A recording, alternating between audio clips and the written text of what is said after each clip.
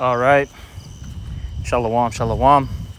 First and foremost, before I get started, as always, I want to give all praises, honor, and glory unto Yahweh Bashim Al Shai, Waharakha Kodash, which Yahweh, that's the name of the Heavenly Father, Yahweh Shai, that's whom the world ignorantly calls Jesus Christ, that's his true name, and the Rakha Kodash, that is the Holy Spirit. And I also want to give double honors to the apostles and the elders of Great Millstone who rule and teach well in the scriptures. And salutations to all the brothers out there who are pushing his word in all truth and in all sincerity. You know, I want to do a quick lesson that was uh, made by this uh, individual, all right, this ignorant statement, okay? And it was um, a comment that he posted on the apostles' uh, live stream page, okay, where they do, uh, you know, their, you know, their camp um, you know, sessions, okay? And this was uh, the uh, post camp, you know, breakdown of Isaiah, the 14th chapter, okay? And the brothers were, you know, beautifully, you know, breaking this, um, this chapter down. And as they're breaking it, uh, this chapter down, they went in um, to the book of Ezekiel for a moment. It was a precept that was brought out. It was, I believe, Ezekiel, the 38th chapter, if I'm not mistaken. And in that chapter, it talks about how there's going to be continual employment for the heathen in the kingdom of heaven. All right. And this is what the individual, you know, said. All right. He put, You really think heathen hands will build the kingdom of heaven? No. And the brother um, replied with, Isaiah 60, 10 through 12, which is a beautiful scripture here. I'm going to read it. It says, And the sons of strangers, meaning the heathens, shall build up thy walls. Okay? Meaning they're going to build our kingdom up. Okay? And their king shall minister unto thee. For in my wrath I smote thee, but in my favor have I had mercy on thee. And that's what the Lord did unto us. All right? He smote us in his wrath. Okay, but he's going to ultimately have mercy on the nation of Israel. Let me keep reading. Therefore, thy gates shall be open continually, they shall not be shut day nor night, that men may bring unto thee the forces of the Gentiles, and that their kings may be brought. All right, and this is going into the kingdom where our gates are going to be open. Okay, and the reason why we're going to be able to do that is because no heathen is going to be able to take us down in the kingdom. See, in the ancient times, the gates were only open during the uh, the daytime. At nighttime, they, they had that closed. All right, or when it was a time of war, they, they closed the gates to make sure no uh, you know no enemy can you know come into the city. But see, we're not going to be uh, we're not going to be worrying about that. Hey, these heathens are going to come in, you know, at all hours of the day and night to bring their um their goods to us because they're going to have to pay tribute okay? Now let's keep reading. For the nation and kingdom that will not serve thee shall perish yea those nations shall be utterly wasted. All right and that's going to be the punishment to those who are going to disobey. If you don't want to you know get in line you're going to have to deal with the consequences all right? Now um, I'm to keep reading. And you had a uh, another brother uh, post this. He says, Kings and priests built this kingdom for Esau. Hell, they'll build ours. Or hell, they're building ours. And this guy goes, highly doubt they were kings and priests. And I want to get a precept to um, to uh, prove that that man is wrong. Okay? And this is the book of Ezra, chapter 9, verse 7, and it reads here, Since the days of our fathers have been, like, since the days of our fathers have we been in a great trespass unto this day. And for our iniquities have we, our kings, and our priests been delivered into the hands hand of the kings of the lands. Meaning um these heathens, okay? The Lord allowed them to conquer us, right? And it says here, to the sword, meaning you had some of our kings and priests and others of our nation right? They were put to death, okay? To the captivity, meaning they were put into slavery, right? Let's keep reading. And to a spoil, meaning they took our, you know, belongings. And to confusion of face as it is this day. And when you go into that word confusion, it goes into being ashamed, which when you're in captivity under another nation, when you're conquered by another nation, you should be ashamed. Okay, you should have your head low because now you are subjugated to another nation and they're calling the shots. Okay, they're telling you what to do, okay, and what not to do. You see?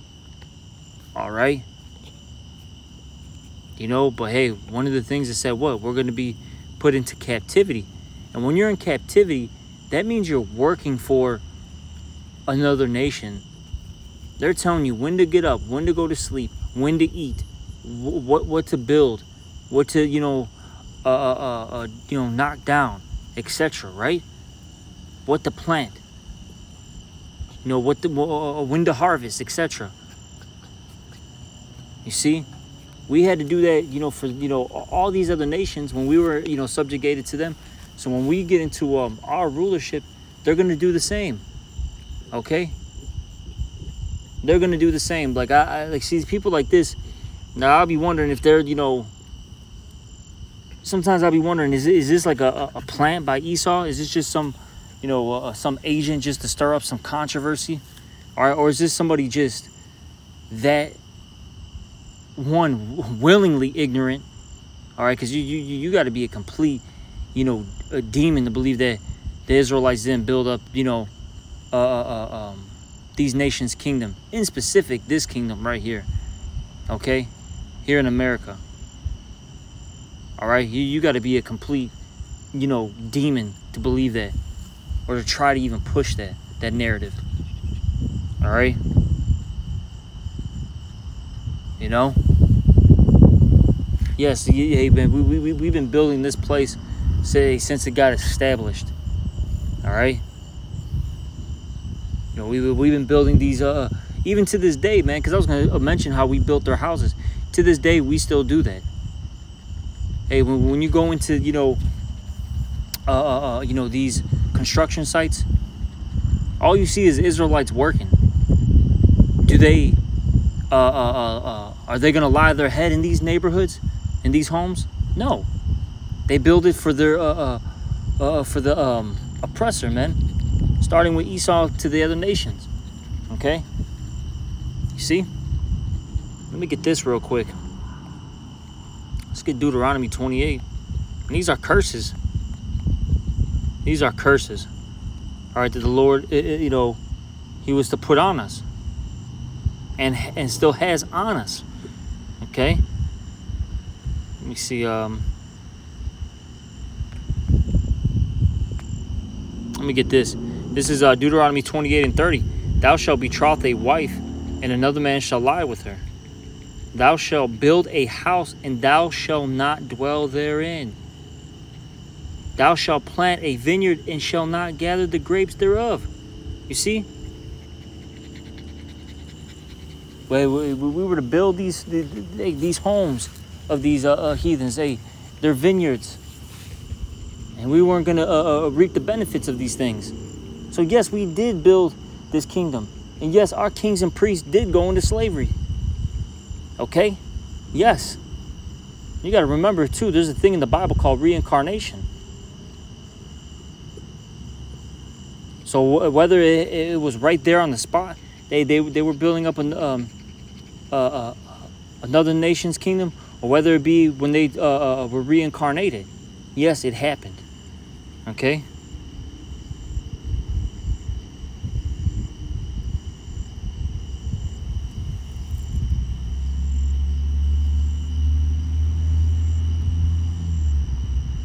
My bad, I'm looking at this one. Here we go. This is uh Deuteronomy 28 and 36. Now the Lord shall bring thee and thy king, which thou shalt set over thee, unto a nation which that which neither thou nor thy fathers have known, and there shall thou serve other gods, wood and stone. Okay, right there just shows you how our kings went into slavery too, man. Simple as that. All right. And look, I got a precept here, another one. Probably ended off with this. This is um the uh, the book of what is this? Wisdom of Solomon, I believe the 18th chapter.